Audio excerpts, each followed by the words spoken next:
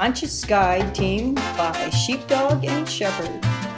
Conscience Guide Team 7.3 Conscience and the Cancel Culture. I'm glad Shepherd's not going to cancel me. Congratulations, you've been canceled. From now on, you will understand the meaning of the following words shun, ostracize, banish, exclude, exile, ban, blackball, expel, kick out, throw out, cast out, keep out, shut out, boycott, reject, avoid, snub, blacklist, excommunicate, give the cold shoulder, silence, suppress, extinguish. Although the phrase cancel culture entered the American Vogue lexicon recently, the concept originated long ago.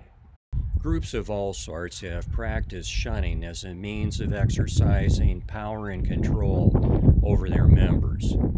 Through shunning, groups exclude an individual from the group, silence the individual, prohibit the individual from engaging in commerce and sustaining their livelihood, prohibit the individual from exercising their religious beliefs, withdraw safety and security from the individual, malign the individual.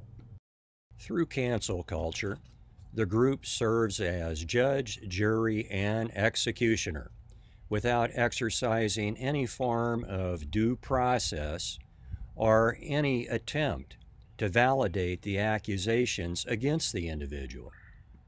With cancel culture, there is no mechanism for reconciliation or restitution. Consequently, cancel culture creates permanent outcasts. At first, an individual may be struck with terror in the face of being canceled by an entire group of people. However, fear tends to turn into resentment and resentment into rage. This is especially true if the group exercise judgment based upon a political ideology are a set of beliefs inconsistently applied.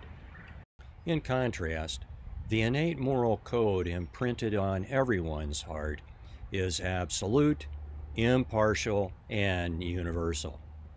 If a group abandons its innate moral code, it will inevitably adopt a code that elevates some at the expense of others. Perhaps C.C. Colton captured this phenomenon with the phrase, Law and equity are two things which God hath joined, but which man hath put asunder. What is your assessment of the cancel culture? Do you believe that the cancel culture is just and equitably applied? What would you do if you were canceled because of your beliefs and opinions? And oh, by the way, who sits in judgment over those who cancel?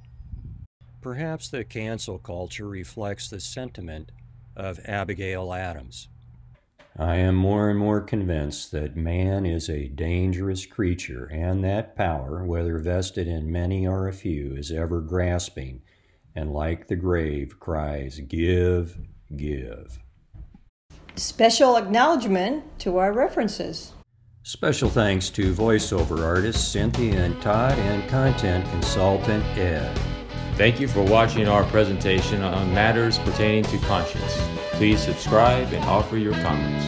Produced by Sheepdog and Shepherd, aka M. Gilbert Steiner, author of Short Man of Nuremberg.